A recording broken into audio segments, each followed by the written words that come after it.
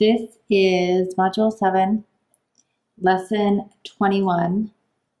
Okay, I, guys, again, I am skipping a couple lessons because you do not, or most of you do not have the tools necessary to complete them at home. Okay, so jumping into um, Lesson 21 we start doing number lines, okay? And then figuring out the missing number on the number line and what we have to count by to figure out what that number is, whether it be ones, fives, tens, hundreds, thousands, millions, whatever, okay? So I'm gonna go ahead and jump right in to the problem set, okay? So it says find the value of the point on each part of the meter strip marked by a letter. For each number line, one for each number line, one unit is the distance from the one hash mark to the next, okay?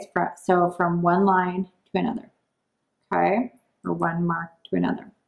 So for number one, we start at 20 centimeters and we have to get up to 50 centimeters, okay? So we need to figure out what we're going to count by to get there. Well, if I count by tens, that's going to be too many, right? If I go 20, 30, 40, 50, 60, 70, 80, well, that's way too many, okay? So I am going to try and count by five. So if I go 20, 25, 30, 35, 40, 45, 50. Okay, so that got me there. So if I counted by fives, that would say each unit had a length of five centimeters. Okay, so I can fill that one in. So then what would A be? 20, 25, 30, 35, 40. Okay, so A would be 40 centimeters. Okay.